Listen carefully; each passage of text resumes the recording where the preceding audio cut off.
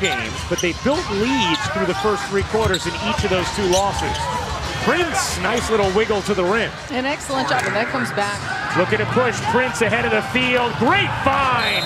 LeVert to Prince for two. That's just 4 of 17 from deep thus far as LeVert finally gets one to drop.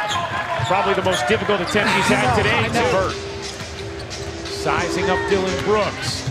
LeVert, difficult shot is good. LeVert has started to get the tough ones to drop after making his missing his first six. Pull up three is good. Timeout Memphis. Caris LeVert starting to cook. Five for Brooklyn. Nice cut from LeVert, and he gets fouled by Brooks, who thought he was there cleanly.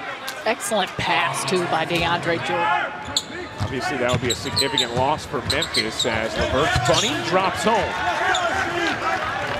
And LeVert, who started slowly, has picked it up. Ray Jordan. LeVert lays it in, plus the foul.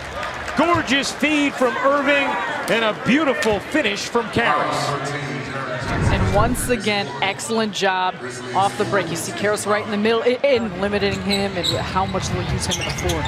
Allen on the other end dunks it right on the dome of Valanciunas Harris. Finds LeVert, his three is good.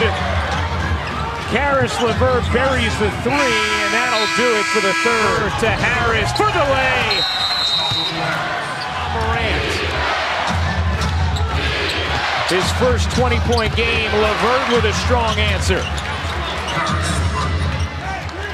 For the Nets, you want to see yourself open up the gap. LeVert's leaner is good. Caris LeVert now with 20. Gives it up. LeVert connects on a big one from deep.